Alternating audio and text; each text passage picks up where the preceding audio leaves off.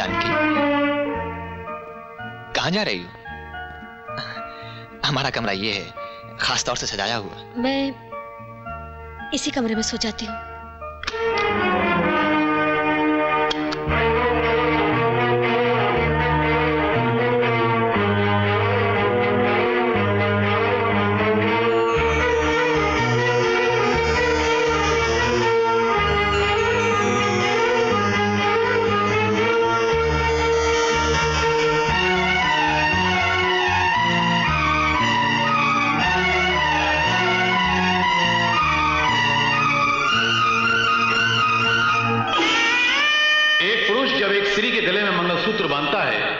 तो वो कहता है "हे कन्या मैं अपना दिल अपना नाम अपनी मान अपनी मर्यादा इस मंगलसूत्र में पिरो कर तेरे गले में बाँध रहा हूँ। अर्थात मंगलसूत्र एक पवित्रता का बंधन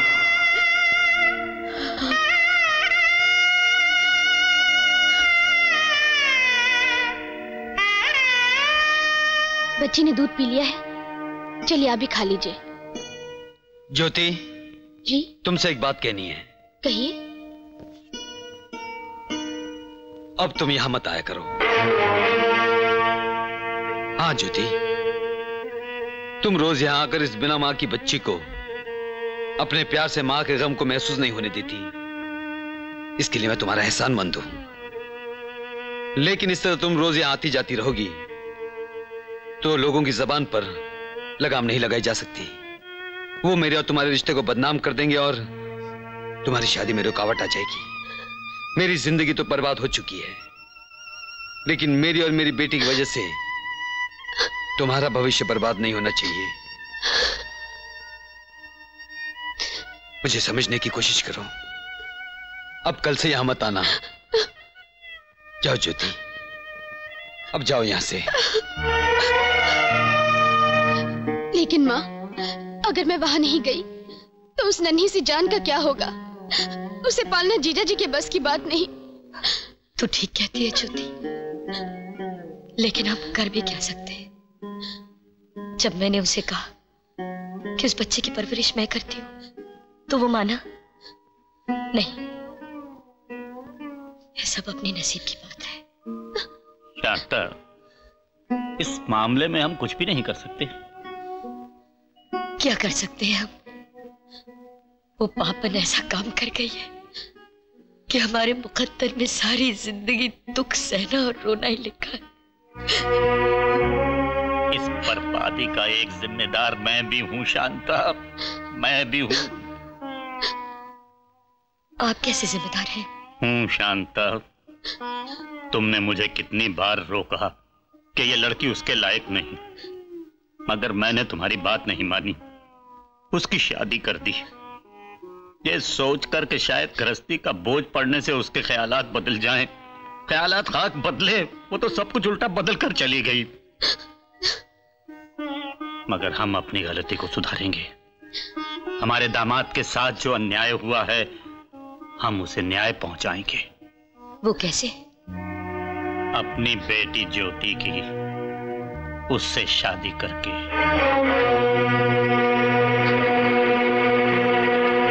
क्या? मैं दूसरी शादी कर लूँ। नहीं, बाबूजी, नहीं। ये नामुमकिन है।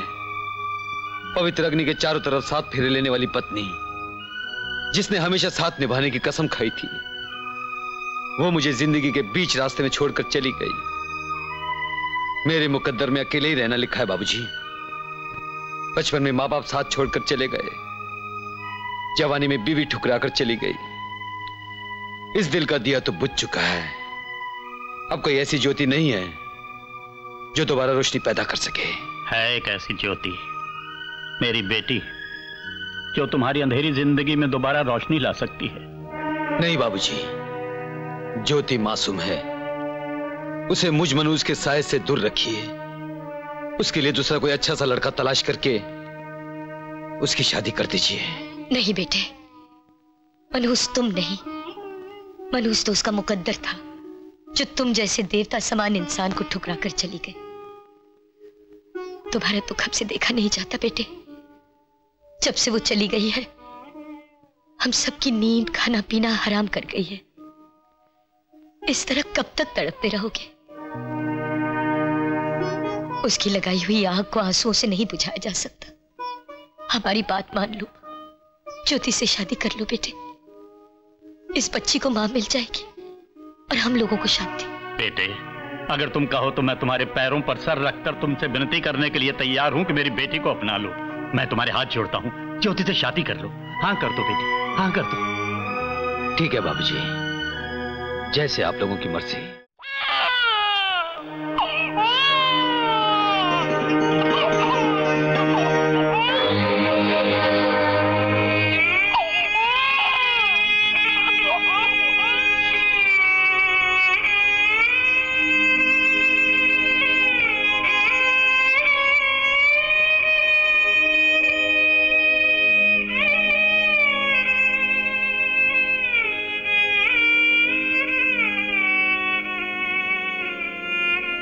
बेटी?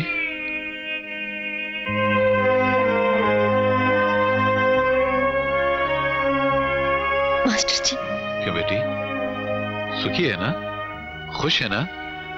मैं यहाँ ताल्लुके में ऑफ़िस के काम से आया था। तो पता चला कि हमारे पुराने ताल्लुक वाली जानकी यहाँ रहती है। तो मिलने चला आया। घर काफ़ी शानदार है। कितना बड़ा भी है। वाह ये झालर सोफा, कुर्सी, टेबल, झूमर, काफ़ी कीमती होंगे ना? वाह बेटी, वाह। तुझे देखकर बड़ी खुशी हो रही है। और तेरा वो पगला, बूढ़ा बाप बच्चों की तरह फूट फूट के रो रो के कह रहा था कि मास्टर बड़ी नहीं क्या किया, ऐसा क्यों किया? मैंने कहा, चुप हो जा रे। तेरी बेटी पढ़ी लिखी है, सियानी है। अपना कुछ भला देख कर ही घर छोड़ के निकली होगी। मैंने ठीक कहा ना? ठीक ही तो है। वो गरीब, हल जोतने वाला किसान रामू ये सब सुख कहाँ से ला सकता था? नहीं। लेकिन बेटी, इसको मैं क्या कह के पुकारूं?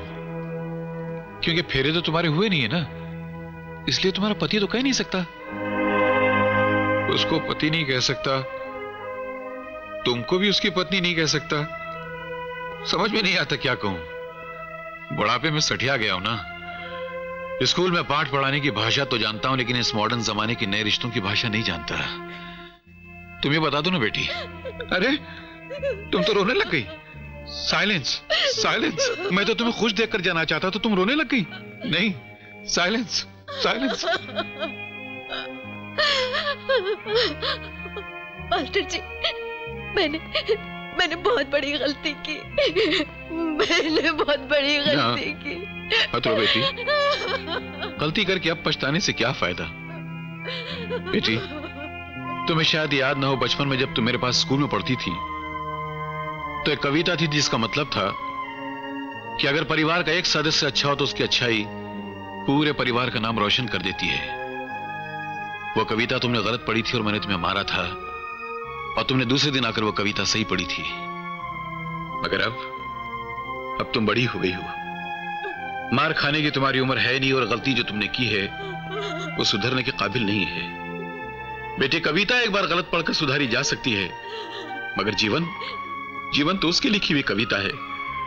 और अगर उसको एक बार गलत पढ़ दिया ना?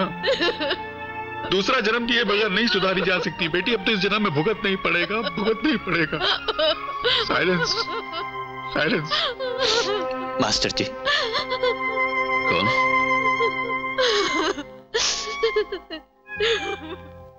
प्रणाम। जीते रहो। बड़ी खुशी हुई तुमसे मिलकर। काफ़ी परिवर्तन आ गया है तुम में बेटा, तुम्हें याद है, जब तुम छुटपन में मेरे पास स्कूल में पढ़ा करते थे तो अपना पाठ रवानी से पढ़ जाते थे। कभी गलती नहीं करते थे। और मैं तुम्हें देख देखकर भविष्य के सपने देखा करता था कि मास्टर यह तेरा विद्यार्थी जो एक दिन तेरा नाम रोशन करेगा, गाँव की इज़्ज़त में चार चाँद लगाएगा। कितना उल्टा निकला। चाँद कहाँ? तुमने एक कदम उठाकर इज़्ज़त के मुँह पे धूल झोंक दी। बदनामी की कालक पोत दी मास्टर जी, मैं समझ रहा हूँ आप क्या कहना चाह रहे हैं। हमने गलती की है। पाप किया है हमने। यही कहना चाह रहे हैं ना आप? आप जो कह रहे हैं, वो भी ठीक है, मास्टर जी। लेकिन लेकिन क्या कभी किसी ने, आपने ये सोचा कि ये अपने पति के घर में सुखी नहीं थी? मैं मैं इसके बगैर ज़िंदा नहीं रह सकता था। अगर उन खोखले बंधनों को तोड़कर हम दोनों ने इकट्ठे जीवन गुजारने का फैसला किया है। तो इस, तो इसने क्या जुर्म किया है? क्या गलती की है? बताइए क्या गलती की है? कोई गलती नहीं की तुमने? कोई पाप नहीं किया? तो तो फिर समझाओ इसको जो बच्चों की तरह फूट फूट के रो रही है। कहो इससे। वो समझती है कि उसने जुर्म किया है। गलती हुई है उसके हाथों। हाँ, एक बात कहूँ बेटा। औरत और मर्द की ज़िंदगी के बीच खूबसूरती और दौलत की कोई अहमियत नहीं होती, और अगर होती तो इस भारत देश में करोड़ों परिवार कभी सुखी रह नहीं सकते थे। गरीबी की आग में उनके रिश्तों के बंधन जलकर खाक हो गए होते। अगर पत्नी को कमी महसूस करके अपने पति को छोड़ दे, या पति किसी कारण अपनी पत्नी को छोड़ दे तो अपनी संस्कृति का, अपनी परंपरा का कोई मतलब ही नहीं हुआ ना? रामायण पढ़ी है ना? बरसों तक लंका में रावण की कैद में रहने वाली सीता हमेशा एक ही आस लगाए बैठी रहती थी। कि एक दिन मेरा राम आएगा और मुझे कैद से छुड़ा कर ले जाएगा। और उसी कारण उस औरत को आज हज़ारों साल बाद भी देवी मानकर उसकी पूजा की जाती है। सुमति का नाम सुना है ना? जो अपने कोड़ी पति को सर आँखों पर बिठाए, दर दर की ठोकरें खाती पीती थी। इसीलिए आज तक उसे महान पतिव्रता का नाम दिया जाता है। शायद वो तुम्हारी तरह अकलमंद नहीं रहे होंगे, या जो कुछ उन्होंने किया वो तुम्हारी नज़रों में गलत है। अच्छी बात है। चलता हूँ। लेकिन जाने से पहले इतना कहूँगा कि जो कुछ तुमने किया वो गलत है गलत है गलत है। मास्टर जी। माफ़ करना बेटा। बूढ़ा हो गया ना पुराने जमाने का हूँ। इसलिए जज्बात पे काबू नहीं रख सका। अगर मेरी कोई बात बुरी लगी हो तो माफ़ कर देना बेटा। मास्टर जी मैं भी आपके साथ चलूँगी। मैं भी आपके साथ चलूँगी मास्टर जी। बेटी मेरे साथ चलेगी? कहा? किसके घर? उस बाप के घर जो तुम्हें मरा हुआ समझकर तुम्हारा श्राद्ध भी कर चुका है? या उस गाँव में जाओगे जिसकी धरती पर तुम्हारे कदम रखने की भी मुमानित हो गई? अब तो मैं तुम्हें राम बाबू के घर भी नहीं ले जा सकता। क्योंकि कल ही उसका तुम्हारी छोटी बहन के साथ विवाह हो गया।